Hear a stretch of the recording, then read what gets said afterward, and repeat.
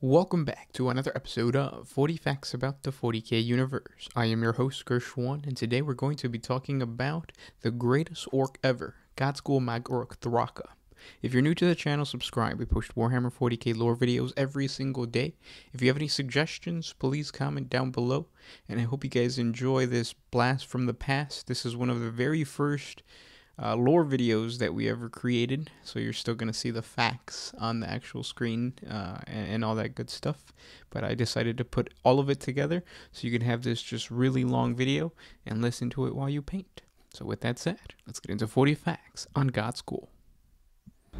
Ghazghkull Mag Uruk Thraka is an orc warlord of the Goff clan and a mighty prophet of the Waaagh. He is the single most influential orc in the galaxy in the late 31st millennium, and billions of greenskins march to war in his name. The Waaagh, led by Ghazghkull Thraka, is different than any other orc invasion.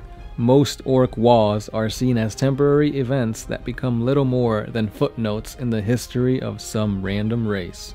Ghazghkull Waaagh shakes the foundations of the galaxy in a war of total domination.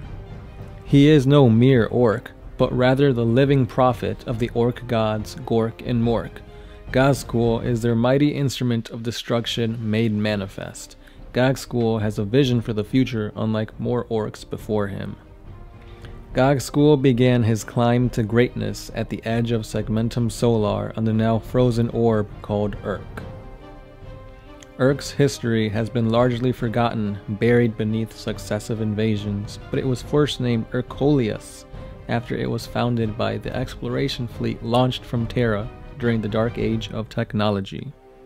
The planet was part of the Zornian star system, and the tides of the warp flowed strongly to that point, making it an excellent hub. Humanity prospered on Eurocleus, for it was a world rich in minerals, and within a few hundred Terran years, the colonies had grown to thriving cities and busy spaceports.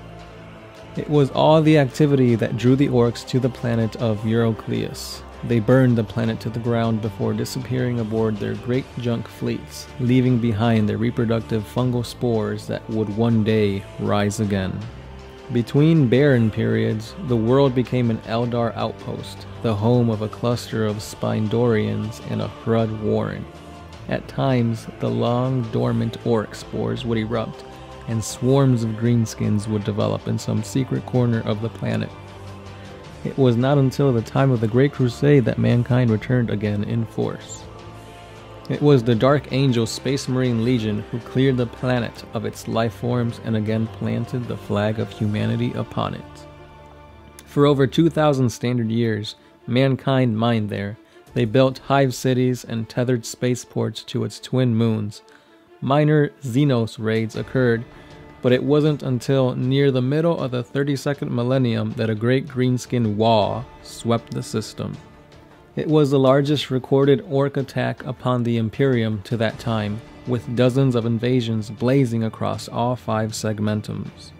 Soon, the Zornian system fell into orc hands, as Eurocleus was overwhelmed by the Greenskins, the last survivors of that world boarded the vast star freighter Dominion and escaped into the suddenly shifting warp. The tides of the warp had altered, making the Zornian system no longer easily accessible. Thus began a long period of stagnation for the orcs. For nearly 8,000 standard years, Eurocleus, renamed Urk, was a battleground for warring greenskin tribes. At first, they fought over the ruins of the hive cities, clashing over the best loot. These battles devolved, as did the piles of plunder they fought over. No leader proved large enough to gather more than a handful of the tribes or clans beneath him, so an equilibrium of squalor became the way of life. It was during this turmoil that Ghazghkull was born. The Imperium of Man may have had unsuspecting hand in creating the most formidable orc of his era, perhaps of all time. After many Terran years of fighting orcs and monitoring their presence in outer lying systems, the Imperium had learned that under the right conditions, even sporadic orc populations could multiply at a startling speed. The rise of a strong warlord could unite the feuding clans, triggering a mass release of spores. Should this gathering grow large enough, it could act as a psychic beacon to orcs on nearby planets, drawing them into a swarming migration built with frightening intensity. In less than a Terran decade, orcs could go from being a minor nuisance to the world's dominant species. The Imperium found that if a rising Waaagh can be detected and countered early enough, the orcs can be broken and dispersed at little cost. Thus, in the Zornian system, the Dark Angels had established a range of monitoring stations coordinated by a command sanctum in a barren mountainous region of Urk. The hub routinely fed scans and other information back to the nearest Dark Angel vessels.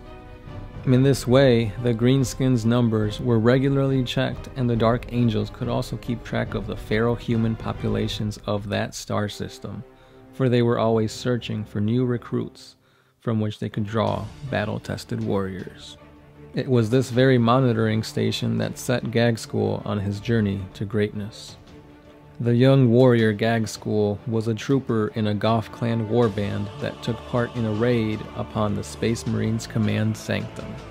Although it was hidden atop a remote mountain crag on Urk, it was not safe from the orcs. Always seeking scrap, the Greenskins discovered the hidden base and began to dismantle it. During the initial rush to claim the base, Ghazghkull was hit in the head by a bolter shell, a shot that pulverized a large section of his cranium and turned a sizable portion of his brain to absolute mush. It was quite possible that the young and profusely bleeding Ghazghkull might have been left for dead then. But there, Ghazghkull got back to his feet, a sign of toughness and grit that any Goff would respect. It was widely known that a crazy Death Skull's pain boy was paying those who brought him fresh material to work on with a good sum of teeth. His own mob guided him onwards. He was a stumbling wreck and had to hold his bleeding brains in with both hands, but they eventually reached the Death Skull's outpost of Rustpike.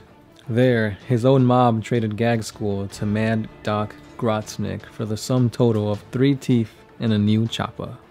Immediately after Mad Doc Grotznik performed his pivotal operation, Ghazghkull sees green visions for the orc gods Gork and Mork. Grotznik had replaced part of the Goff warrior's skull and brain with bionics, wires, and squig sinew, holding it all in place by riveting on adamantium plates. When Ghazghkull awoke, he could see more clearly than he ever could before. This had little to do with his eyesight or new bionic eye, which truthfully was always a bit out of focus. Rather, for the first time in his short life, Ghazghkull awoke with a brand new vision. The vision gave him a destiny to rally all of Orkdom and lead them onto the greatest wall of all time. It was now his belief that he was in direct contact with Gork and Mork, the great green gods of the orcs, and Ghazghkull realized that he had been chosen as the living embodiment of their divine wishes. The first to fall beneath Ghazghkull Ironshad's heel was the Death Skull's warlord, Dregmek. Ghazghkull had just emerged from Mad Doc Grotznik's grimy tent and was still rubbing his shiny adamantium plated plate when Dregmek approached. Dregmek demanded to know what a Goff was doing within the boundaries of Rustpike. Behind Dregmek, his entourage of knobs laughed in anticipation of a fight.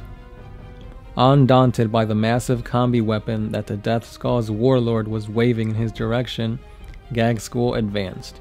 As the Death Skull warlord saw this, he opened fire upon Ghazghkull. Perhaps it was a stroke of divine intervention to save their prophet from Gork, or possibly Mork, but Ghazghkull advanced untouched. So savage was the pummeling that Ghazghkull delivered with his bare hands that Dregmek's knobs cheered on. The headbutt delivered from Gag Ghazghkull's newly armored skull finished the job with a resounding clang. Straddling the pulped body of his foe, Gag Ghazghkull announced that this was only the beginning. After killing the Death Skulls, Warlord Dregmek Ghazghkull Mag Uruk Thraka announced to the onlookers that he was the prophet of Gork and Mork, and anyone that was looking to suffer the same fate as their former warlord could step up. Ghazghkull fought the Death Skull orcs for a solid hour, a battle from which the Prophet suffered nothing more than a scratch. Once the orcs from the Rustpike camp bent their knees to Ghazghkull, they realized he has grown larger right before their eyes. By crushing the tribes within reach of his new stronghold, Ghazghkull began to increase his horde. In addition to the death skulls that had followed Dregmek, there were now several goff mobs beneath the young warlord. As stories of Ghazghkull's deeds circulated throughout the scrap heap, villages, and makeshift fortresses of Urk, orcs began to leave their tribes and head to Rustpike to become bigger war bands. Rustpike grew so overcrowded that it was impossible to spit and hit the ground, so Ghazghkull decided to move west. It was on the cracked plains of the Big Wasteland that Ghazghkull met his first setback. He had entered the territory of the Bad Moons, the richest and most envied of the local clans. The Bad Moon leader was war boss Snazdaka, and none could match the mix of firepower and mobility that was his bright yellow battle wagon brigade. When Snazdaka saw Ghazghkull's hordes marching across his lands, he ordered his totem pole raised and his tents collapsed. During his retreat, Snazdaka and his boys were able to lob a few shells into Ghazghkull's hordes before driving off out of range of retaliation. Ghazghkull had engaged into a battle of wits and tactics, and he was prepared to show his skills. When he had his lads sabotage the supply dumps where Snazdaka refueled his battle wagons. Ghazghkull then gauged the wind and ordered several shanty towns to put to flame.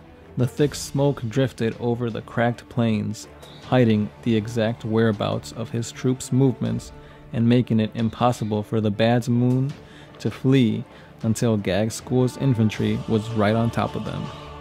Most impressively, Ghazghkull had coerced the fastest orc on Urk to join him by all out racing him in a one on one duel of speed. All who saw it agreed that only the divine might of Gork and Mork could have allowed the now hunking Goff warlord to outpace the grand speed boss Snazfrag of the Evil Sunz. Finally, Ghazghkull overcame the Bad Moons and defeated the war boss Snazdaka. The defeated Bad Moon watched as Ghazghkull ordered the Bad Moon mechs to fashion an enormous power claw from the rubble of their ruined tanks.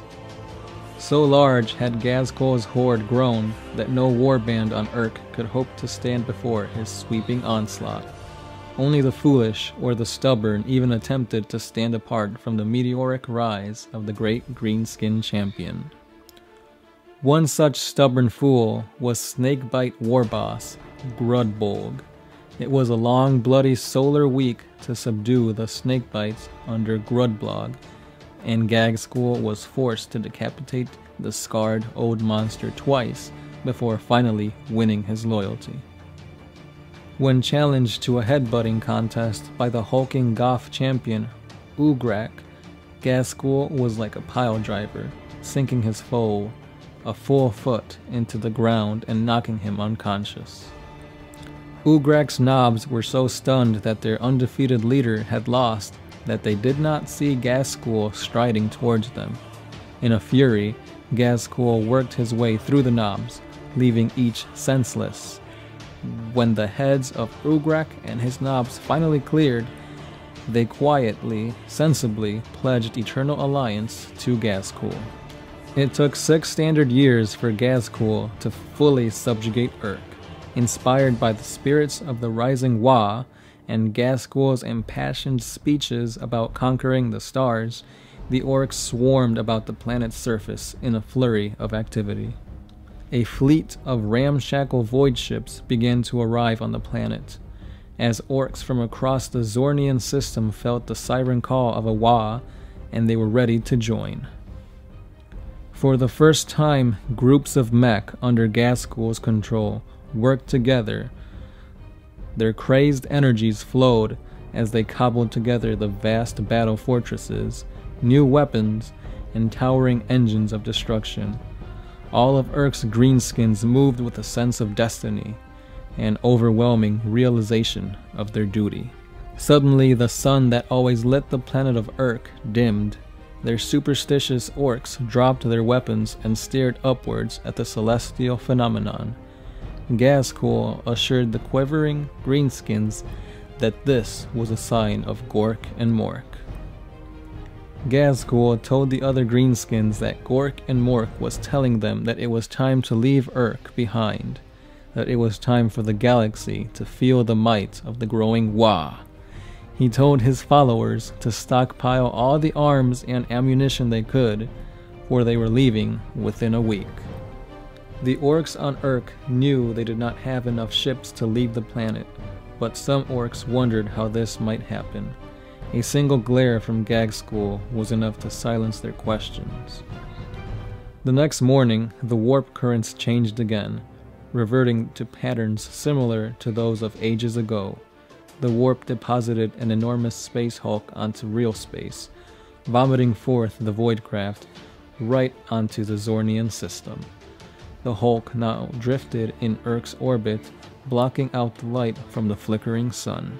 Ghazghkull turned to his mechs and ordered them to secure the Space Hulk using super heavy tractor cannons. A few of the available spacecraft were equipped with harpoon rockets, and they fired these off to tether the colossal Space Hulk to one of Urk's twin moons. Construction on the rockets that would take the orcs to the Space Hulk began. There were perhaps 100 constructions worthy of being called ships, while other craft were built to complete only a single journey. Ghazghkull led the exodus from the planet in the biggest ship there was. Many orcs did not make the trip to space due to prematurely detonating, while others exploded on impact with the Hulk. The Space Hulk was not unoccupied. As soon as the first wave of orcs landed, they were attacked by demonic entities. Burna Boys set the demons aflame, while Speed Freak Boys launched themselves from cargo ramps, guns blazing. Ghazghkull himself led the spearhead that fought its way to the center of the Space Hulk. There, at the black heart of the jumbled amalgamation, was an ancient voidcraft, none other than the vast star freighter Dominion. After leaving Urk to escape the Orc attack, the voidcraft became lost in the warp its terrified human cargo attracting the horrific creatures that dwelled there. Where its warp engines had once been located, there was now a huge warp rift, where demons poured out, looking to destroy the intruders. Mad Doc Grotznik led a charge to win the landing bays of what must have been an old Imperial transport. The orcs needed the old Imperial crafts to aid with the transport efforts. It was Ugrak's Uglies, the Goff Knob mob, that fought their way to the asteroid embedded deep within the Space Hulk. And in the end, only Ugrak's Combi Scorcha swept the path clear. Orc tank bustas were hunting the soul grinders, crawling through the air vents to send rockets corkscrewing onto their unnatural foes, blowing them apart in sprays of flame and ichor. The fight to take over the demon held Space Hulk was a bitter battle through ever changing confines. Neither side showed mercy, hacking at each other in the narrow corridors and turning vast cargo bays into slaughter pits where entire armies crashed headlong. The fighting took solar weeks, during which time billions of greenskins were airlifted off Urk to join the fray. Finally, Ghazghkull reached the warp rift and ordered his men to fire all they had at the rift, only to have their firepower absorbed by the Immaterium. It was Ghazghkull's headbutt that closed the rift off. Whether it was the force of the blow or the latent psychic energy within him, it was done, and the demon threat ended. Ghazghkull named his Space Hulk the Wyrdkilla. The orcs explored the bounds of the vast Space Hulk, finding strange technology, ancient machines from humanity's lost past, and other apparatuses beyond their comprehension. How long Ghazghkull and his followers drifted in the warp is not known. Time passes strangely there, and orcs keep no records. Ghazghkull and his boys explored the bounds of the vast space hulk, finding strange technology, ancient machines from humanity's lost past, and other apparatuses beyond their comprehension. Orc Burna Boys worked with mechs and death skulls to rip apart the Space Hulk for use for stompas, battle wagons, and battle armor. This removal of metal plates from the Space Hulk was what allowed the warp entities to re enter Wyrdkilla. Several more demonic incursions plagued the journey, and Ghazghkull had to drive out the worst of these warp offenses personally. When the orcs were all by themselves on the Space Hulk, they fought each other for scrap metal and squigs. There was always an abundance of violent Waaagh energy, and the orcs thrived and multiplied. Soon, every cranny of the Voidcraft was bursting with more greenskins. A sudden jerk alerted all the orcs on the Space Hulk that Wyrdkilla had ripped back into real space. Ghazghkull's voice boomed out of the speakers and down corridors, telling all to prepare for battle as Wyrdkilla smashed aside defenses and trampled picket ships. The orcs had emerged at the edge of the star system vital to the Imperium, heading straight for the core planet. Before them sprawled the immensity that was Armageddon. Armageddon was an industrial giant.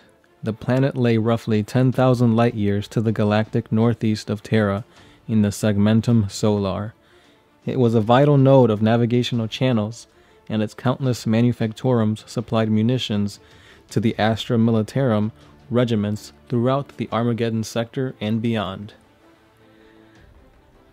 No force in the galaxy could now stop Wyrdkilla from crash landing onto Armageddon. Guided by his visions, Ghazghkull did not wish to halt his flight. Rather, he welcomed the headlong plunge towards the world below, Ghazghkull was on a collision course for greatness. Surrounding Imperial fleets, long range missiles, and the planet's orbital defense lasers did their best to stave off the inevitable. Their firepower managed to shear away a few chunks of the oncoming Space Hulk. The deep impact of the landing shook the entire world, and its blast wave caused untold devastation. A cloud of debris shrouded the sun. Hundreds of thousands of orcs were instantly vaporized by the cataclysmic contact of the landing. Their losses, however, were but a tiny fraction on their number. As the shock faded, a few of the orcs realized that they should all have died in that epic crash. Ghazghkull claimed it was the protection of the gods, although the force field projector absorbed the brunt of the impact. Ghazghkull divided his followers into five distinct hordes, each under one of his most powerful warlords. These were leaders Ghazghkull had subdued upon Urk, ferocious orcs that had learned by fighting alongside him. With a wave of his power claw, Ghazghkull launched endless columns of orc war machines and living seas of green-skinned infantry onto battle. The Astra Militarum and the planetary defense forces of Armageddon may have been well equipped but they were wholly unprepared for the waves of violence that swept over their armies. It was clear that the humans underestimated their strategic foes. They had fought orcs before, but these greenskins were different. This was not some petty warlord's assault. This was Waaagh Ghazghkull. Ghazghkull had beat enough tactics and cunning into the skulls of his commanders that some of it stuck they easily overwhelmed the Planetary Defense Force legions that advanced out of the planet's hive cities to contain them. First, the orcs launched assaults to pin the foe in place on the flat ash wastes, while biker mobs and battle wagon brigades raced around to encircle their foes, cutting off their supply lines. Those that made a desperate attempt to break out were met by gun lines. The orcs mowed down anything that moved, mech gun batteries pummeled the panicked defenders. With the plains cleared, the orcs advanced on the hive cities, and they were astounded. Built atop sprawling, ash blown desert wastes, the hive rose up taller than mountains. These were the great factory cities of the Imperium, the lifeblood of its non stop war effort. This was industrial might on a scale never before seen by the orcs. The Imperium's defense of the hives proved more formidable. The Astra Militarum's numbers were augmented by every regiment available, along with hastily armed citizens. Ghazghkull took one look at High Volcanus before vowing boldly that it would fall in two solar days' times. Although his hordes were numerous enough to overwhelm the gates, Ghazghkull did not want to waste his strength. He had yet to unleash the full terror of his Gargant big mobs, but he thought that the prodigious firepower should be saved for when it was truly required. Instead, his plan to take the enormous factory city reflected his cunning. The outer barriers were targeted by blitz brigades, armored wedges of battle wagons. The first wave bore rams, and it was their duty to break open the outer walls, using their tracks to carry them over the rubble. The second group of attackers followed in the wake of the smoke churning orc battle wagons. These were the mobile infantry, mostly goff boys, with mobs of Burna Boys amongst them. The third wave was composed of scorchas. Their orders were to drive through the breaches and to clear any defenses with sweeping flame. Tractor beams would target the gates as the battle wagons cleared the last trench. Timed correctly, they loaded wagons would be at the top speed just as the doors were ripped off of their hinges. Secondary plans included a Storm Boys airdrop and Stompas with wrecking balls. When the waves of infantry were finally released, they could enter Volcanus at will. Ghazghkull's plan worked almost too well. The hive would have fallen in a single day were it not for its fierce resistance. Despite their heroics, hundreds of thousands of orcs swept onto High Volcanus, and its population was massacred or enslaved. After the capture of High Volcanus, the remaining hives of Armageddon Prime soon followed.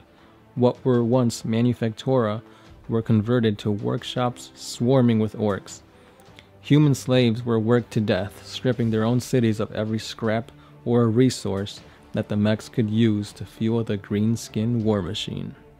Being somewhat soft, it is extraordinary for Humies to gain respect from orcs especially greenskins led by a stoic and battle-hungry Goff like Ghazghkull.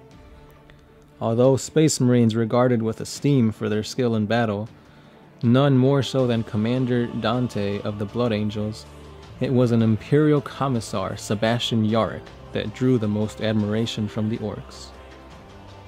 Commissar Yarrick was certainly a thorn in Ghazghkull's side, for the Greenskins reckoned that it was he alone that willed the defenders of Hades' hive to hold on for so long. To earn more than Ghazghkull's eternal enemy, please check out our 40 facts on Commissar Yarrick. Amongst the boys, it was said that those orcs that recognized who they were up against were always slain, for they stood in gape-jawed disbelief at Yarrick's insulting puniness, and so left themselves open to a death blow. When Armageddon's season of shadows set in, the cynical time when the planet's volcanic mountains erupted, the turbulent skies were permanently crimson. To the orcs, this was another sign of their impending victory. The Waaagh proceeded southwards towards the heavy populated continent of Armageddon Secundus. To get to Armageddon Secundus, the orcs had to cross a swath of equatorial jungle considered impenetrable by the humans. The swamp region was full of mud pits that could submerge entire armies at a time, and it was filled with ferocious wild beasts. The greenskins reveled in it, attacking the flora and fauna, while the mechs erected pontoon bridges or projected force fields across the sinking bogs. Infantry, armored columns, stompa mobs, and towering gargants crossed the crude bridges and emerged on the far side of the jungles. Once again, the orcs caught the humans unprepared and smashed through their defensive positions easily. As the orcs raced across the ash deserts toward the hive cities, the towering god engines and tank companies of mankind advanced out into the barrens to meet them. In the parched desert known as the Death Barrens, a land armada of Death Dreads, Killa Kans, and hulking Morkanauts lurched into enemy armor fortifications. Power claws ripped apart turrets, buzz saws arms reached into tanks to slice up exposed crew, and the screams of the victims ran out like music to the orcs' ears. With the foe's tanks reduced to smoking wreckage, the Stompas and Death Dreads used their firepower to tip the scales on the evenly matched duel between the Gargants and the Titans. The sieges that followed brought the Armageddon War to a new state of savagery. The Orcs sacked Infernus Hive after the Blood Axes struck a deal with its corrupt governor. On the hive cities of Hades and Hell's Reach, the Imperial side launched virus bombs, wicked and prescribed technology from their distant past. Hundreds of thousands of orcs died, but still they pressed on, battering themselves against the hive cities for little gain. With his sub-commanders confused on how to break through these hive cities, Ghazghkull was forced to direct the assaults himself. He tried many ploys, lightning assaults, overwhelming wave attacks, and mass bombardments, Airdropped storm boys attacked from the skies while the sewer tunnels were infiltrated by the craftiest of commandos. At Helsreach, these strategies paid off, each offensive advancing more deeply into that seaport hive city. With the streets red with blood, Ghazghkull's final tactic to gather the Weird Boys together so that their wall minds blasted forth a psychic storm worked perfectly. Paralyzed by madness, the defenders were overrun. In Hades, each of Ghazghkull's moves were parried. The Storm Boys were ripped from the skies by anti-aircraft fire. The Commandos were met by tunnel fighters in a running battle that stymied the underground advance. Siege engines were sabotaged by human suicide teams. And the Gargants, even those were taken down. The defense of Hades' hive was masterminded by Commissar Yarrick, who was destined to become the most respected humie that Waaagh Ghazghkull ever met. As Ghazghkull fixated on tearing Hades' hive apart, on his command another Orc army was set to overwhelm the hive city of Acheron. On a typical bloody day, the skies shine bright as an orbital um, bombardment blasted craters amongst the Orc hordes.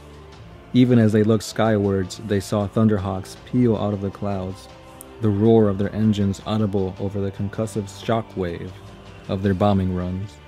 The Space Marines, the finest warriors in the Emperor's service, had arrived. The Blood Angels, the Ultramarines, and the Salamanders attacked, and the Orcs tasted the bitterness of crushing defeat for the first time. At this time, Ghazghkull should have confronted the new foes head on, but instead he observed with bringing down Hades' hive. This could have driven the Space Marine assault back, but instead Ghazghkull continued his attack on the Hive City.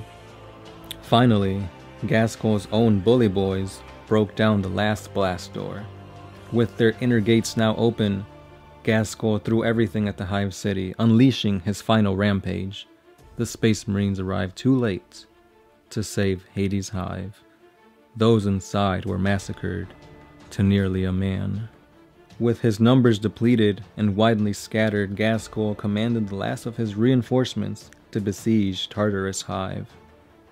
The Space Marines were quick to redeploy. A drop pod assault struck the orcs even as Gorkanauts and Stompas smashed the hive gates down. Blindsided again, the Greenskins were pushed back and on the verge of breaking when Ghazghkull arrived.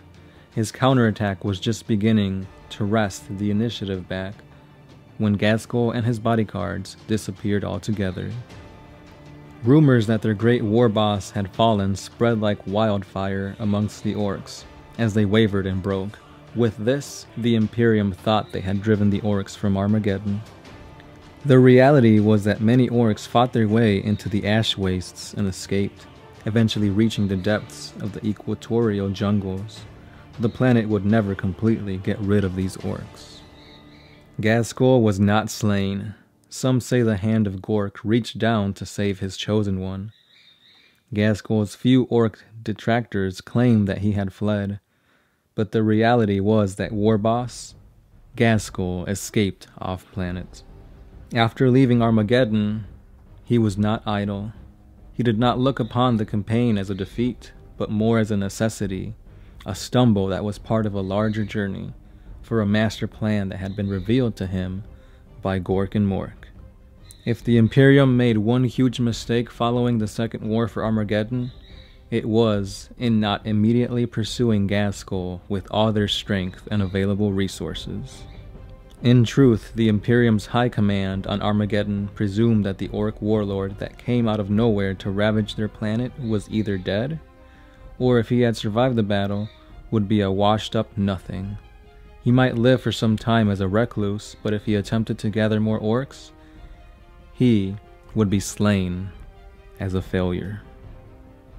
After losing a major battle, orcs will often kill their failed leaders.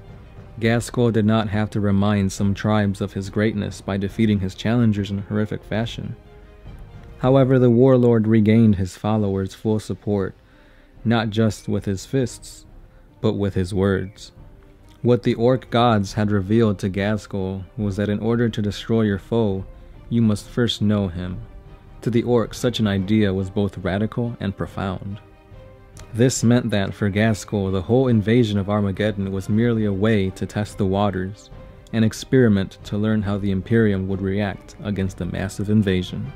Now he had learned what he needed to know about the Imperium's strategies.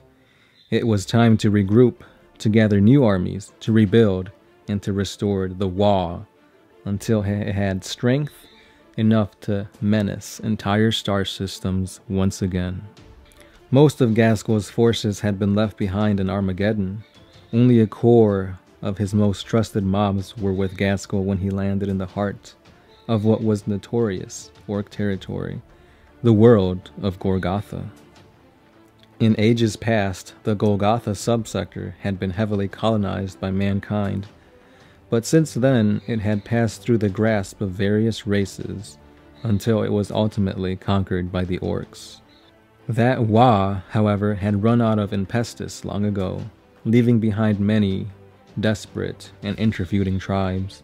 Just like on Urk, Ghazghkull began subjugating the Greenskins. At first, he clubbed bosses and gained new bobs, one at a time. But news travels fast when orcs begin to get excited.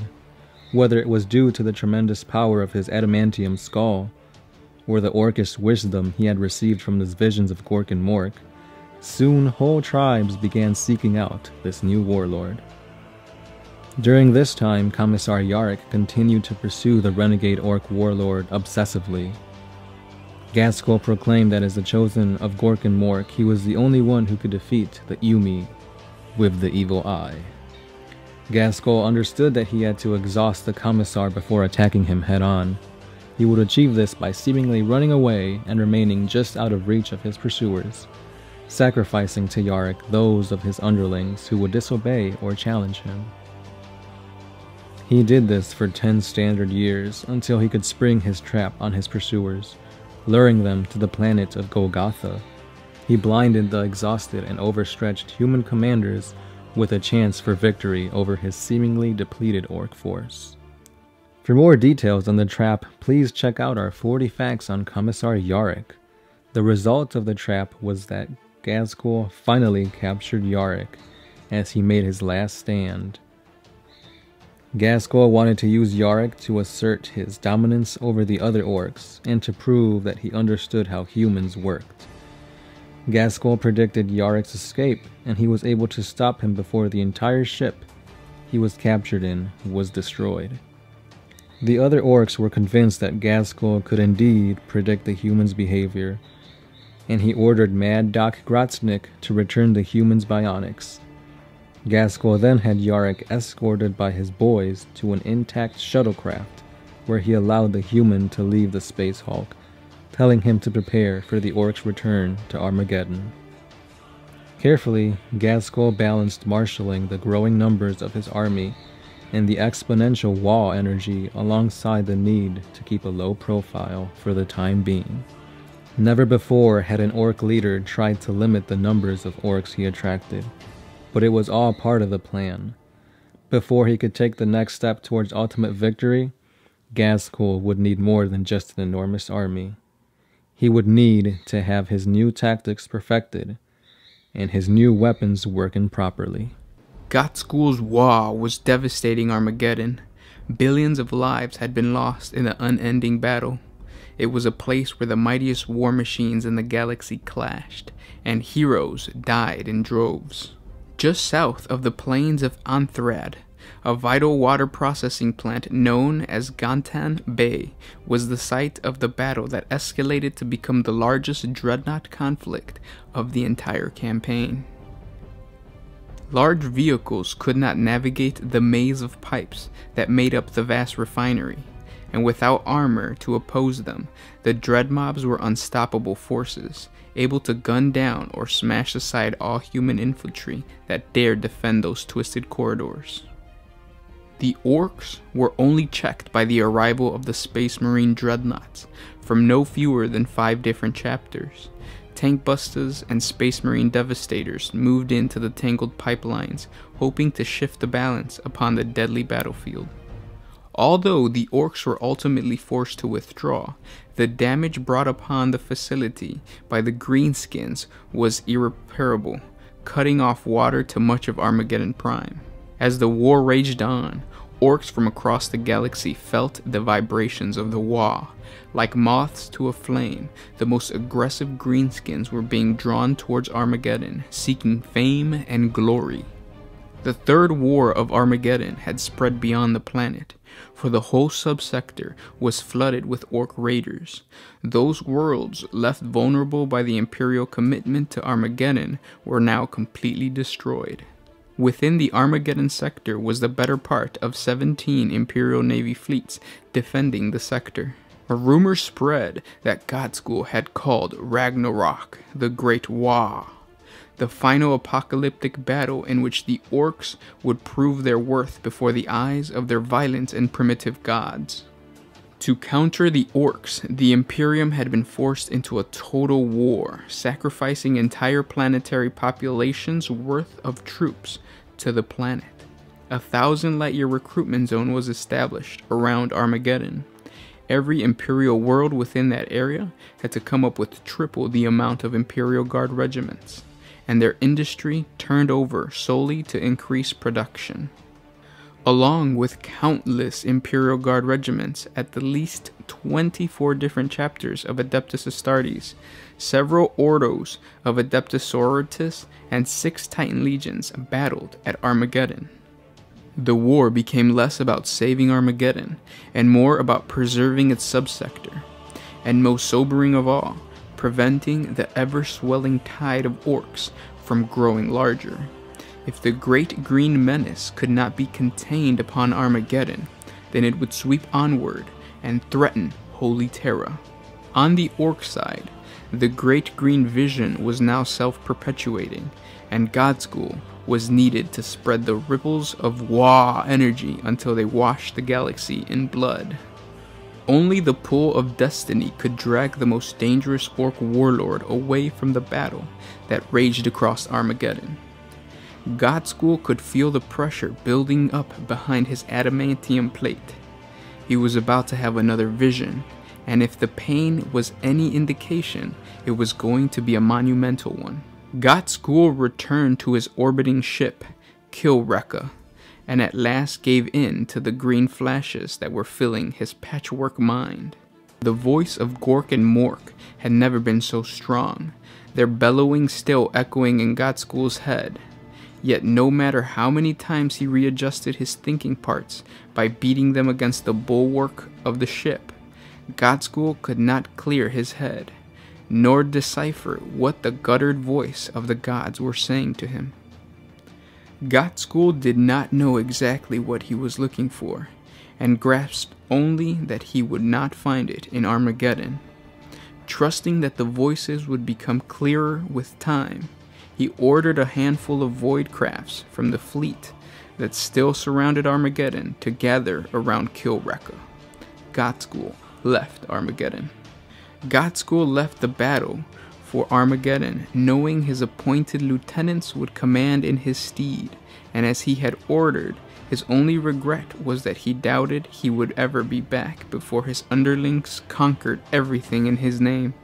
As Ghazghkull's ship left the sector, he ordered a herd of Weird Boy warpheads to gather. It was his hope that the deranged orc mystics could aid his visions in a way similar to how their strange gifts seemed to help steer the best course once a spacehawk entered the warp. The hulking warlord watched the drooling warpheads totter about the bridge, bumping into each other like boys under the influence of fungus beer. They did nothing to help the warlord's vision. Imperial augur stations observed the vessel known as Kill Wrecka leave the sector. The Armageddon High Command was notified, and within solar days the pursuit was underway. Commissar Yarrick headed one fleet, and the High Marshal of the Black Templars led the other. They had allowed Ghazghkull to escape once, and it cost them dearly, a mistake Yarrick vowed that would never be repeated. Using a pincer approach, the faster, more efficient Imperial warships converted upon the Orc fleet several solar weeks after leaving Armageddon. Outnumbered in the midst of a barren space known as the Haunted Gulf, Ghazghkull realized he could not outrun his foes. With nowhere to hide, he ordered the fleet to steer directly into the midst of the enemy. The Orc flotilla crippled several battle cruisers as it crashed into the Imperial fleets. The Imperium returned fire, destroying Orc void ships one after another. Kill Wrecka was left incapable of steering. As Yarrick and Helbrecht prepared to board the Orc vessel in order to personally ensure Ghazghkull's demise, Kill Wrecka was consumed in a blaze of green energy. Kill Wrecka rocked back and forth from the lance strikes that penetrated its lower decks. The resulting explosion blasted concussive forces throughout the ship, making the entire Voidcraft lurk violently and sending everyone on the command deck sprawling. Ghazghkull toppled over hard, his adamantium clad skull denting the steel deck plates with a clang. Furious, he pushed out of the pile of weird boys that had shifted on top of him. It was then, his head still ringing from the impact, that an overwhelming force possessed Ghazghkull. An arcing crown of green lightning exploded outwards, washing everyone in a strange green light. The sudden explosion of energies was a spark that set off the warpheads, each convulsing in a rhythmic spasm that grew in intensity. Engulfed in green flames, the crazed orc psykers howled as their skin sizzled and raw power bursted forth from their eyes and gushed from their jaws. In voices like rolling thunder, the warpheads spoke as one, the same almighty roar of Gork and Mork that Ghazghkull had been hearing. Now at last he understood what he needed to do. The voice of the gods commanded Ghazghkull to unite the orcs and make the galaxy echo to the sounds of the Great Waaagh.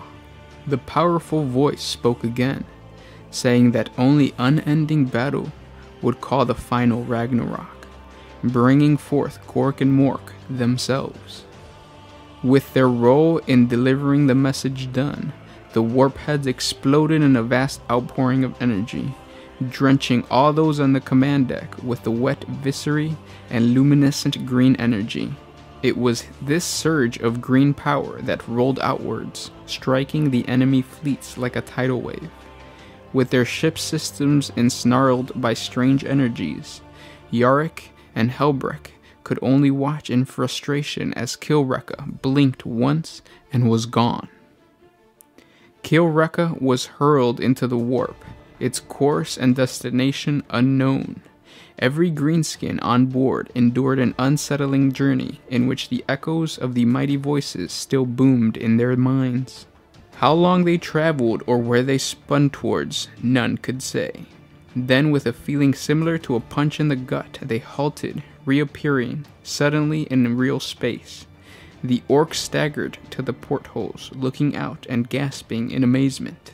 They were completely surrounded by void ships of all sizes, but there could be no mistaking the make of such crude, rust buckets like crafts. Kill Wrecka had materialized precisely in the middle of an orc fleet. Kill Wrecka had landed in the middle of Warlord Urgok the Slayer's fleet. The warlord mistook the Kill Wrecka for space junk, thinking that some scraps mongering death skulls were simply cutting up pieces of the old wreckage. What he was seeing was Ghazghkull's meks repairing the Kill Wrecka after being tossed around in the warp. On board, Ghazghkull cared less about the hull repairs, instead ordering his meks to fix the damage teleporter. He was going to confront the warlord. Knowing his advantage was surprise, Ghazghkull trusted his luck and teleported blindly. as if guided by the great green hands of Gork and Mork themselves. Ghazghkull and a mob of his baddest knobs, his bully boys, appeared in a green flash in a warlord Urgut's command room. Before they could recover from their shock, most of Urguk's bodyguards were slain, and Ghazghkull had pulled Urguk off his throne and beat him senseless. So started a new war.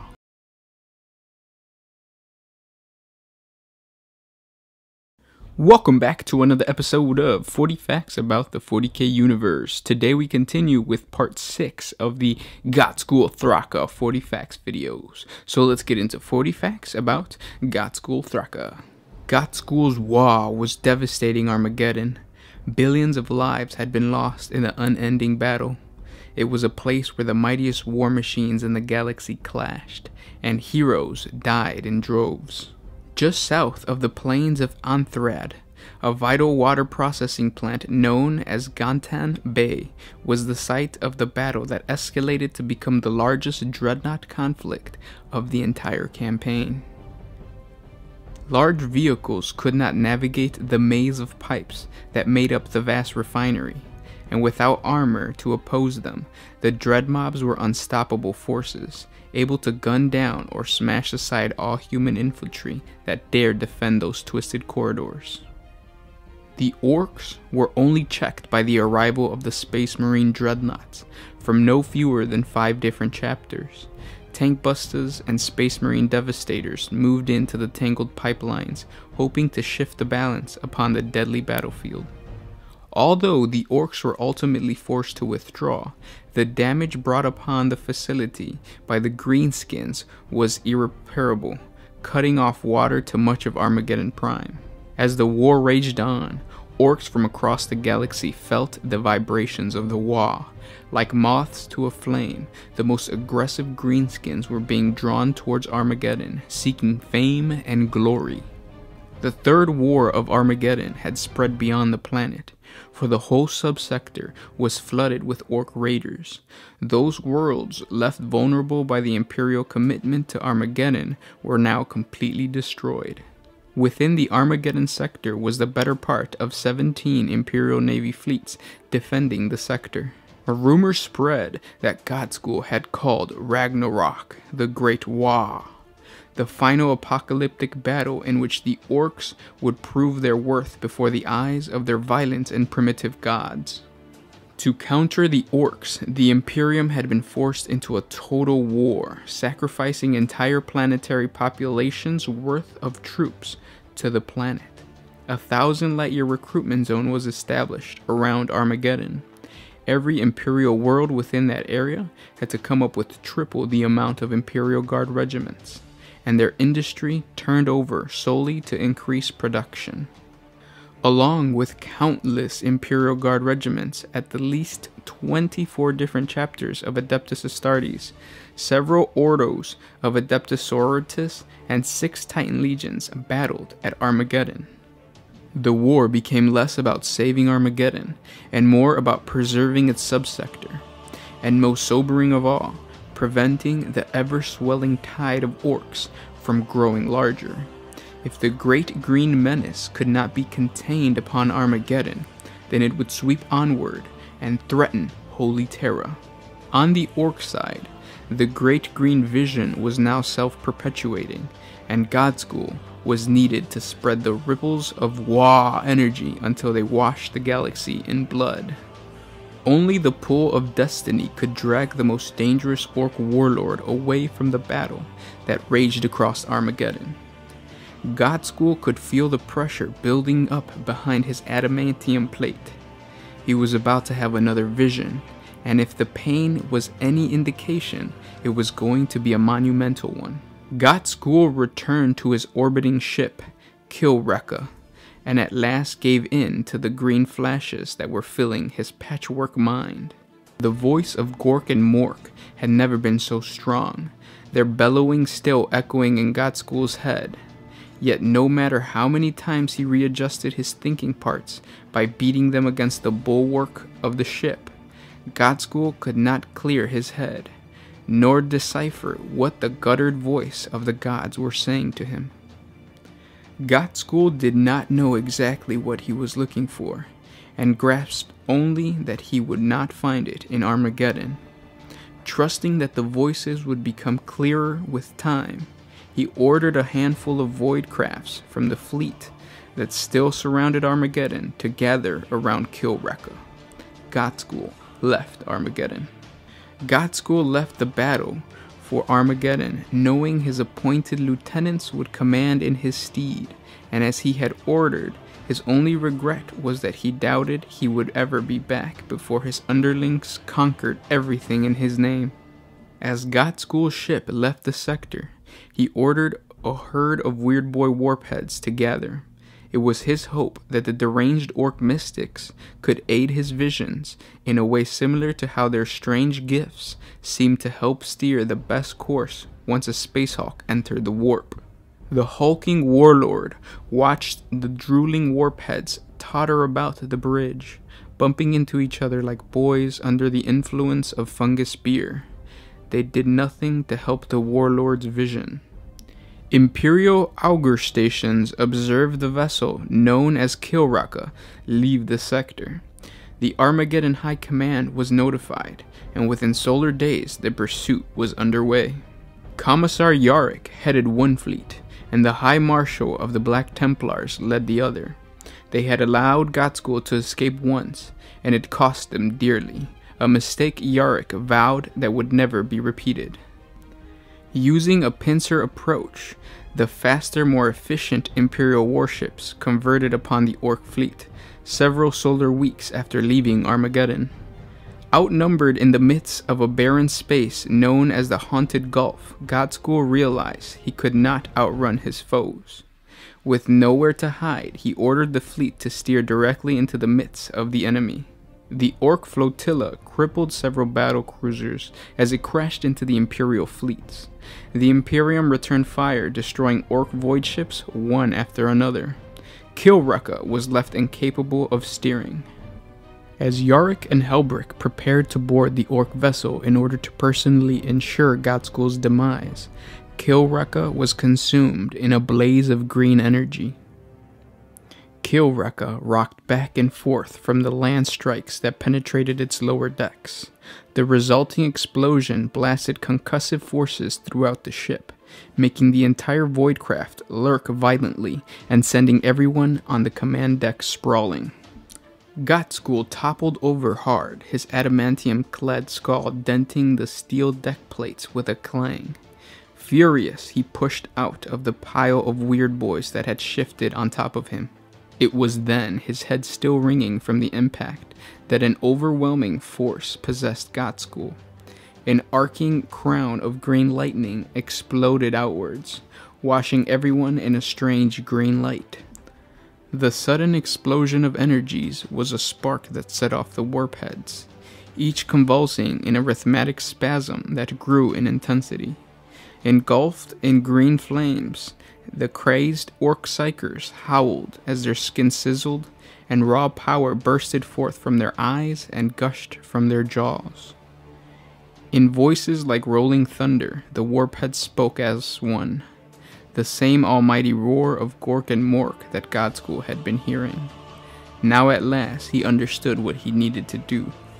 The voice of the gods commanded Ghazghkull to unite the orcs and make the galaxy echo to the sounds of the great Waaagh. The powerful voice spoke again, saying that only unending battle would call the final Ragnarok, bringing forth Gork and Mork themselves. With their role in delivering the message done, the warpheads exploded in a vast outpouring of energy drenching all those on the command deck with the wet viscera and luminescent green energy. It was this surge of green power that rolled outwards, striking the enemy fleets like a tidal wave. With their ship systems ensnarled by strange energies, Yarrick and Helbrecht could only watch in frustration as Kill Wrecka blinked once and was gone. Kill Wrecka was hurled into the warp, its course and destination unknown. Every greenskin on board endured an unsettling journey in which the echoes of the mighty voices still boomed in their minds. How long they traveled or where they spun towards, none could say. Then, with a feeling similar to a punch in the gut, they halted, reappearing suddenly in real space. The orcs staggered to the portholes, looking out and gasping in amazement. They were completely surrounded by void ships of all sizes, but there could be no mistaking the make of such crude, rust buckets like crafts. Kill Wrecka had materialized precisely in the middle of an orc fleet. Kill Wrecka had landed in the middle of Warlord Urgok the Slayer's fleet. The warlord mistook the Kill Wrecka for space junk, thinking that some scraps mongering death skulls were simply cutting up pieces of the old wreckage. What he was seeing was Ghazghkull's meks repairing the Kill Wrecka after being tossed around in the warp. On board, Ghazghkull cared less about the hull repairs, instead ordering his meks to fix the damaged teleporter. He was going to confront the warlord. Knowing his advantage was surprise, Ghazghkull trusted his luck and teleported blindly, as if guided by the great green hands of Gork and Mork themselves. Ghazghkull and a mob of his baddest knobs, his bully boys, appeared in a green flash in a Warlord Urgok's command room. Before they could recover from their shock, most of Urgok's bodyguards were slain, and Ghazghkull had pulled Urgok off his throne and beat him senseless. So started a new war. Ghazghkull was the new owner of a vast armada, but like all orc made creations, the ships that made up the fleet were built out of cast off metal scavenged from the ends of the galaxy. Others had once been vessels of some other race, but had been salvaged and upgraded by the orcs. It was not the greenskin way to repair things. They would merely patch over shells and add more dakka to the ships. Some had even come from distant eras, having been found drifting in the warp. Within the ramshackle armada was a pair of heavy powered hammer battle cruisers that had stood head to head with Imperial battleships and come out victorious. Some half dozen kill cruisers and terror ships rounded out the larger void ships.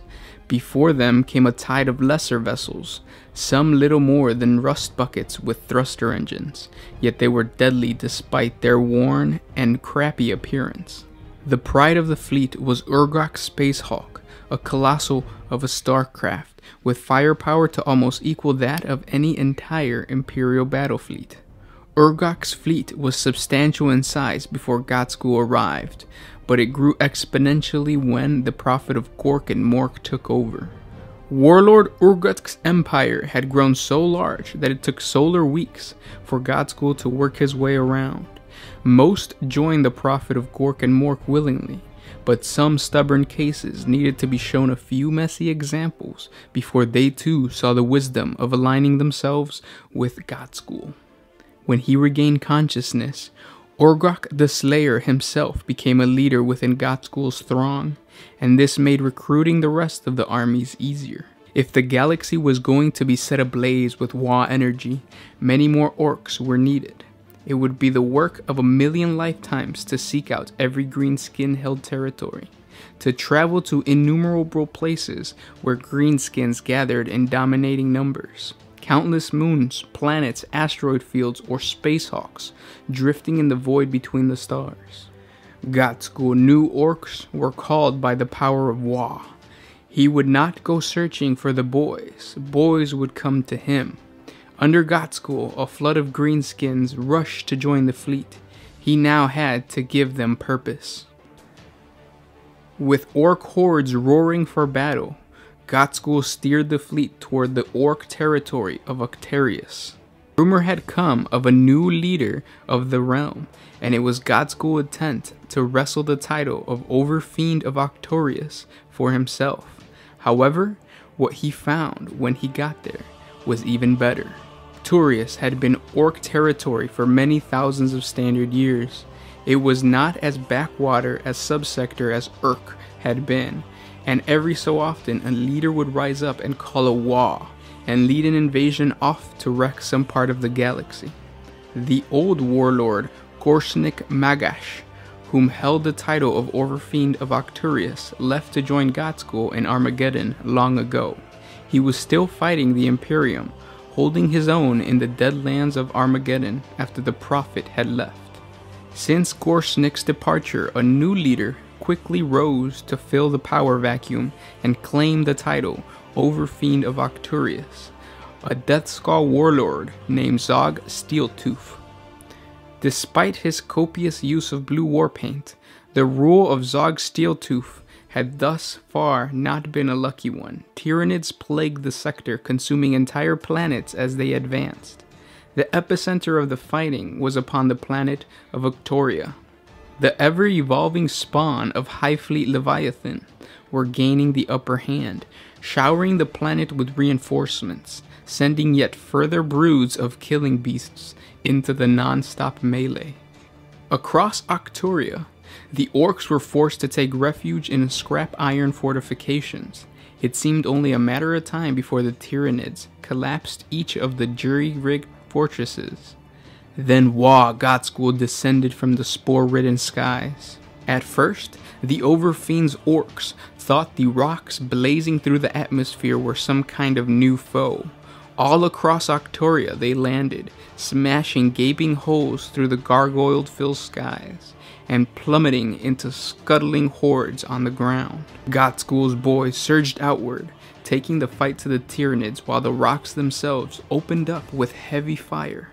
The greenskins behind their shabby defenses let loose volleys of cheers and hails of supporting fire of their own. Tyranid response was extremely quick. Large swarm creatures, hulking limbed horrors, and gargant sized beasts lumbered to oppose the new greenskin threat from the skies. Arcturia's orcs were silenced by these new Tyranid creatures, for they knew that these towering behemoths had been held in reserve. Now the newcomers would be shredded, for there could be no hope for infantry out in the open. To their surprise, the air flashed as teleporters began to bring more reinforcements. All across Arcturia, the crated rocks landing sites now blazed with unnatural lights. After each flash, more and more mobs appeared, and these were not just infantry. Arriving with gunfire, Gargants and Stompas concentrated their fire on the larger foes, while at their feet, Burna Boy mobs spread out. With each blast from their weapon, they sent blossoms of red fire leaping out to flash fry the lesser creatures in droves. Amidst the mob pouring forth, countless crude banners and totems could be seen, carrying high the newly arrived troops or mounted atop clanging battle wagons. The orcs of Arcturia saw the symbol and knew who had arrived. At Gargates, the Overfiend's shanty capital, Ghazghkull Thraka himself appeared via teleporter.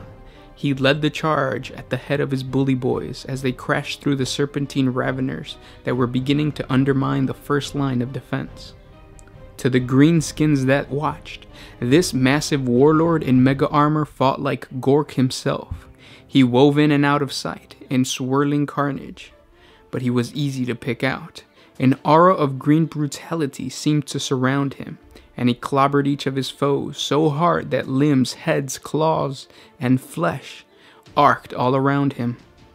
He moved like some elemental destructive force, a one orc wave of destruction. His custom shooter spat death, and with every swipe, Ghazghkull's power claw sliced multiple foes in half. Every motion, from his elbow backswinging to the stomp of his iron foot. The Tyranids were in trouble. Suddenly, the ground underneath Ghazghkull began to bulge upward, and in a second, a Moloch larger than any Tyranid seen by the orcs devoured Ghazghkull. The screeching that bursted through the beastgaping maw made orcs miles away fall and cover their ears, but as quickly as the Moloch screamed victoriously, it began to heave and flop. An unnatural bulge formed in its midsection, and out thrusted a power claw. Shoot a blast widened the hole, and out stepped Ghazghkull, striding out of the belly of the beast. The mightiest of orc warlords roared his victory to the skies, a rally cry to greenskins and a challenge to all else that lived.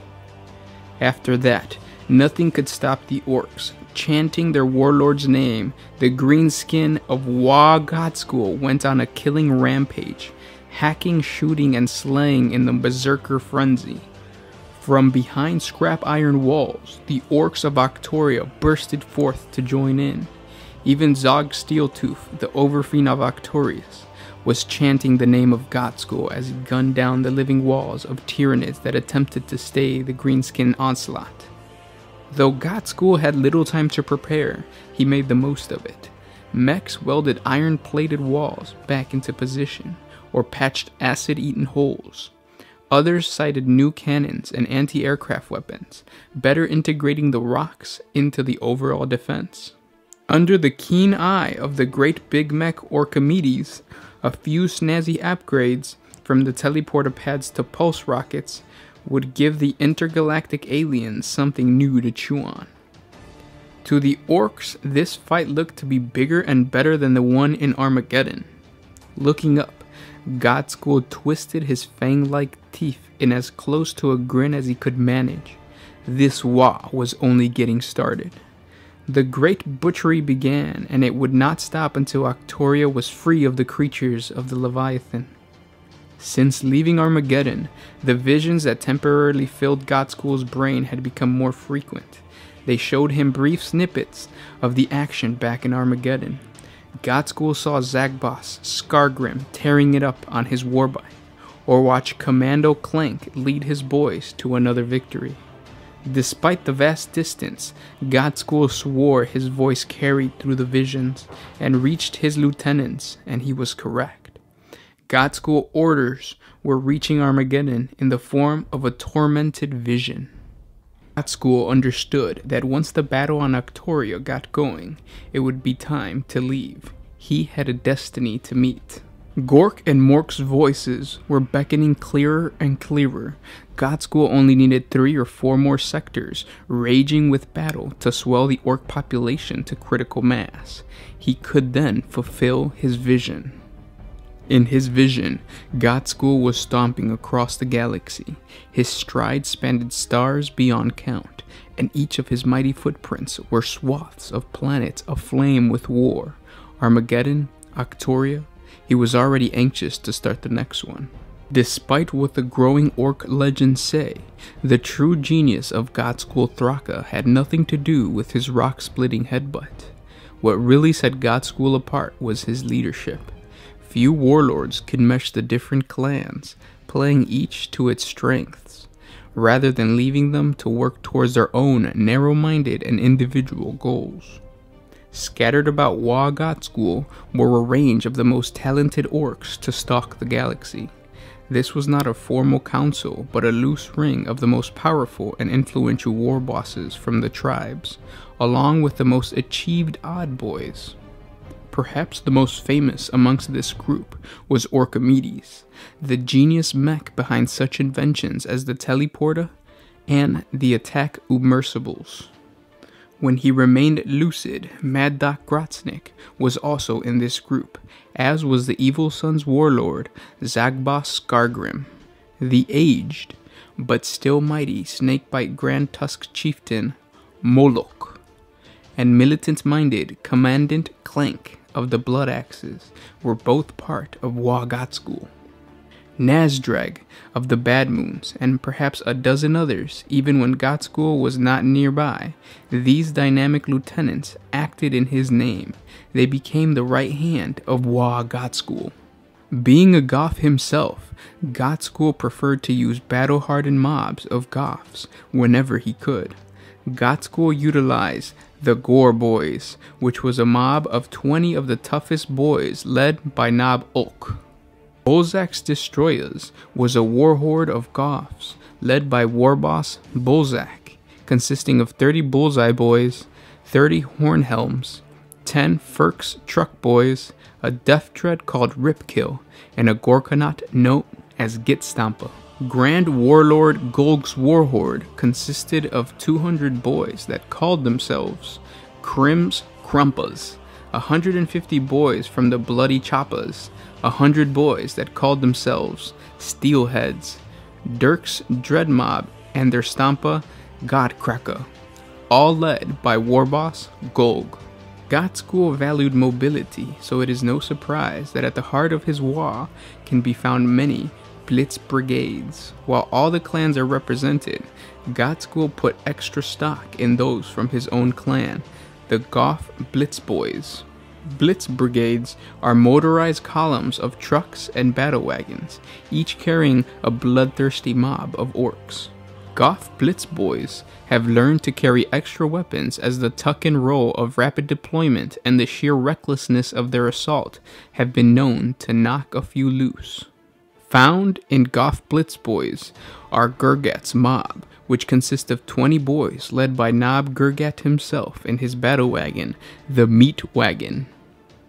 Black Death Blitz Brigade is led by Zog Blackclaw and five battle wagons with death rollers and a mob of the toughest boys.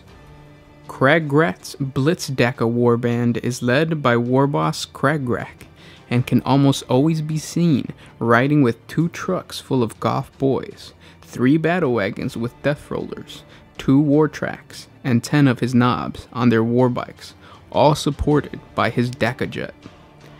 School can always rely on Crossnick's Death Track tribe when he needs more mobility. Warboss Kraksnick maintains 4 warbands and 32 battle fortresses. Ugrak's Uglies are part of the battle-hardened core of Goffs that form the center of Waaagh Ghazghkull. If you can recall from previous videos, Ugrak was a Goff champion on Urk, who pledged loyalty to the Prophet after a gigantic headbutt. It was aboard World Killa.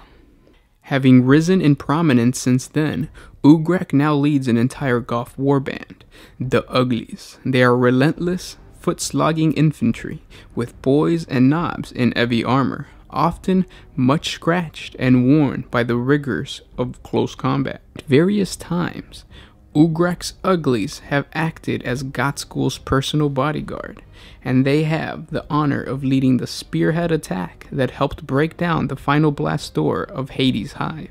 Like a traditional Goff, Ghazghkull places a great value on brutal close range violence. A variety of Killa Kans, Death Dreads, and even larger walkers can be found fighting alongside or amidst the Goff infantry. These metal monstrosities clank alongside them, greatly augmenting their hitting power. School has learned through experience to gather the Killa Kans and Death Dreads together into armor wedges, smoke spewing, lurching units that can stomp down enemy hordes or hack through enemy elite. While it is true that the Goffs despise lowly Gretchen, most have learned a grudging respect for those managing to pilot the Killa Kans. Killikans are readily accepted into Goff warbands, as well as formidable dread mobs, because of the Gretchen's ability to blast, stomp, and maul his foe. Then again, it is possible that many Goff boys simply don't know that there is a grot inside, such an excellent killing machine.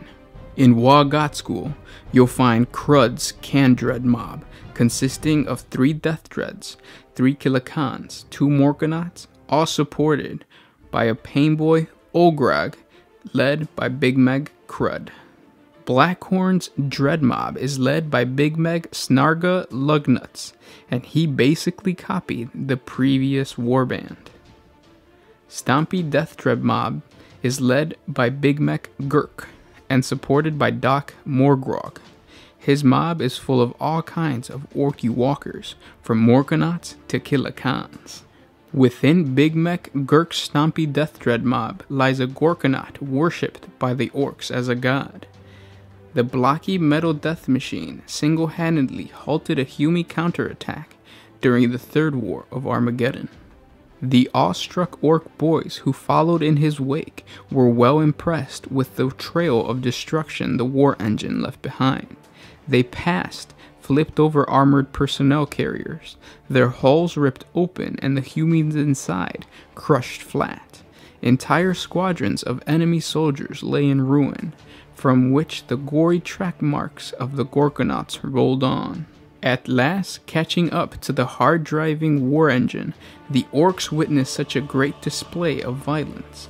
the Gorkanaut broke through the defensive lines, scattering the humie guns and equipment and thrusting its claw of Gork straight into the Imperial bunkers as orcs chanted, Mangler, Mangler, Mangler. The Mangler is piloted by the hulking knob named Captain Grok. Grok has not let the fact that his Gorkanaut is worshipped as a god go to his head. Instead, he continues to demand the utmost from his crew and reminds the mobs that follow him that they ain't seen nothing yet. One of Ghazghkull's most trusted speed freak war bosses is war boss Badzag. Him and his speed boys devastated Armageddon, consisting of six knobs on war bikes, and his mob of biker boys called the Red Death. Speed Freak War Boss, Sneg Bloodsplat, can be found leading his fast sons, which consist of Red Raiders, Fugs Riders, his Death Copter mob called Thwat Deft, Truck Boys called Axel's Boys, and his Dakkajet, Zagnuts Hunter. The largest Speed Freak war boss was Grand Warlord Gortak and his Go Fasta war horde, consisting of 18 cults of speed warbands. Ghazghkull also includes Orc Commando mobs into his Great Wall. Commandos work well in Goff warbands as they have a great respect from other orcs because of their fighting skills and discipline. Commandos like Boss Snob Bullrag and his Fighting Fifth consist of four of the sneakiest commandos. Kraga's Camel Boys consist of two commando mobs and a death dread led by commando boss Kraga all the commando mobs Ghazghkull has ever employed, none have gathered more fame than Boss Snickrot and his Red Skull commandos. To this day, they still haunt the shadows of Armageddon. Boss Snickrot commands four great commando mobs, and we will have a 40 facts on Boss Snickrot, so subscribe to the channel for that. On the ash wastes of Armageddon, Ghazghkull found his mobile Blitz Brigade and even his Stompa mobs were being hunted down by fast-moving Imperial Sentinels. To combat these enemies without slowing down the main thrust of his advances, Ghazghkull ordered his flanks protected by mobs of trucks and battle wagons, mounted heavy hunters, their firepower augmented with a few rocket-armed war buggies. Most of these mobs were small in size, allowing them to respond quickly to different threats to the main army's flanks. Upon sighting their foes, the transports would peel off and the troops would deploy on breakneck speeds. Tank buster mobs or looters soon tracked the Imperial light vehicles. Such countermeasures proved extremely effective, and soon more and more light detachments of heavy hunter mobs secured the flanks of all large warhordes. One such mob was the Red Rockets Heavy Hunters, consisting of tank buster mobs in battle wagons and a mob of looters in a truck. Dreg Toofs Heavy Hunters consisted of two trucks of tank busters, one mob of looters in a battle wagon, and two war buggies. This mob proved to be extremely deadly to any vehicles caught in their sight. The teleporter was a key part of Ghazghkull's second invasion of Armageddon. Ultimately, all sorts of troops and equipment would be teleported onto the planet, but the first and foremost were carefully chosen teleporter mobs. Knobs in mega armor were almost always included in the first wave of troops arriving via teleporter. Heavily armored, these powerhouses would materialize with guns blazing, often using their combi weapons to ensure that their first volley packed the deadliest punch possible. Was Ghazghkull's intention to use his teleporter mobs to counter the Space Marine offensive, which had blighted his first campaign at Armageddon. Indeed, some of his mobs were designed Marine killers, their troops outfitted with twin kill saws or Special 1 rockets to aid in defeating the Space Marine power armor. The toughest of these teleporter mobs was Ghazghkull's Bull Boys, often led by Ugrak. The mob consisted of Ugrak's Uglies, the Mega Mob, Redhorn, and Blackhorns. Ghazghkull likes to hit his foes hard and fast, and few other troops are as brutally effective at this type of lightning warfare as Storm Boys. In Waaagh Ghazghkull, mobs of Storm Boys are a common feature in many orc warbands. Their military-minded way of thinking fits in perfectly with these Goff clans.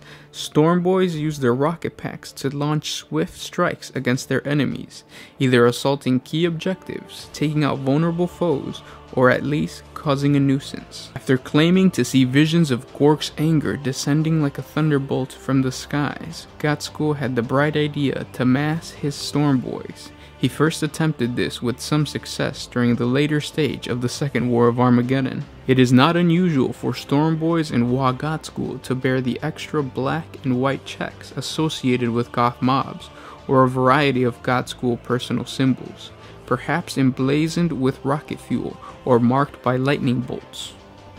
The Choppa Storm mob had even deployed a rude militaristic marching song, which they bellowed as they descended into battle, although mercifully the words are typically drowned out by the roars of their rocket packs. Choppa Storm Mob is led by Boss Nob Tora and composed of three Storm Boy mobs the Death Rockets, Gurk's Jump Boys, and Tora's Terras. Battle scarred and grim, only the hardest of hard have what it takes to join the Goff Guard. Some of the orcs in the Goff Guard come from Urk and have stuck by the warlord through all his travels. Wherever Ghazghkull can be found, it is rare if the Goff Guard aren't close at hand. Rightfully proud to be associated with the greatest greenskin to live and breathe, there are tons of black banners, Goff symbols, and Ghazghkull's horned silhouettes amongst the Goff Guard. When the prophet of Gork and Mork cut deep into the Tyranids on Octoria, it was the black armored might of the Goff Guard that chopped their way behind them. During his first invasion of Armageddon, the Goff Guard took so many banners and Aquila top standards from the Astra Militarum and Adeptus Astartes that they piled them and made a bonfire visible from orbit. The Goff Guard consists of 30 heavy armored boys known as Ardshells, led by Nob Gurk. Another part of the warband is a mob of 10 Mega meganobs with a boss pole called Urk's Owned. Ghazghkull's head bashes consist of five of the toughest war bosses Ugrak, Durg Redclaw, Cirque, the Mighty Bolg, Ugork, the Slayer, all leading three Nob mobs, three Mega Nob mobs, a Dread mob, and a Stompa mob. Part of the Goff Guard is Ghazghkull's super heavy battle wagon known as Black Thunder. And finally, Kog's Crushes consist of four warbands and four Gorkanauts. Ghazghkull had a banner bearer named Makari. He was an exceptionally lucky Grot who survived to the ripe old age of nine standard years before finally meeting his end under the posterior of his hulking master. The plucky Gretchen served as a self appointed banner waver to the mighty Ghazghkull Thraka himself, surviving countless battles in ever more improbable ways. Ghazghkull saw Makari as something of a mascot. When Makari died, his waving stick was reclaimed, hosed down, and went into service as an impressive boss pole. Good fortune still surrounds the lucky stick, though the backlash when things go wrong can be surprisingly brutal. Ghazghkull first appeared in White Dwarf magazine 134. He was the war boss of Andy Chambers' sample Goff army list. Ghazghkull was the weaker of two possible choices for the leaders of the Orc army at that time, the other being a warlord. His attributes of an adamantium skull and the ability to call a waaagh were randomly generated, although at times they merely conferred an extra headbutt attack in close combat, and a minor psychic attack. The psychic power or psychic attack was called Hammer Hand, and it doubled his attacks once per game. The first Ghazghkull model was an in house conversion. Ghazghkull's next appearance was in the Battle for Armageddon board game, based around the events of the Second War of Armageddon, featuring opposite Commissar Yarrick. Inspired by the game's backstory, Jervis Johnson wrote up special rules for the two characters' use in Warhammer 40,000 and Epic 40,000 games, making Ghazghkull one of the first two special characters ever released by Games Workshop. The special rules were based on the random attributes selected by Andy Chambers back in Ghazghkull's first appearance. Rules for Ghazghkull appeared in the third edition of Warhammer 40k, and a new model was created for the worldwide campaign organized around the Third War of Armageddon. The rules were updated to reflect Ghazghkull at the point just prior to the outbreak of the Third War. Ghazghkull's war gear consists of cyborg body, mega armor, big shooter, power claw, boss bow, and stick bombs. And we leave you with a quote from the prophet himself. I'm Warlord Ghazghkull Mag Uruk Thraka, and I speak with the word of the gods. I'm the prophet of Dwa, and the whole world burns in my boot print. And those were 40 facts on Ghazghkull. I hope you guys enjoyed this video. We used to do things very differently back then. We would break up uh, the stories into 10 minute segments or like 11 minute segments just because of upload time. When we first started uploading, our internet speed was pretty bad, so it would take like five hours to upload a 10 minute long video. Now there's improvements, not just in, in the internet that we have now, but also the uh, YouTube capabilities, which is why we can just create or we can put out this entire story uh, the way that it was supposed to be um, listened to. Um, but yeah, I hope you guys enjoyed. Talk to you guys tomorrow. This is Gersh One with One Mind Syndicate signing out.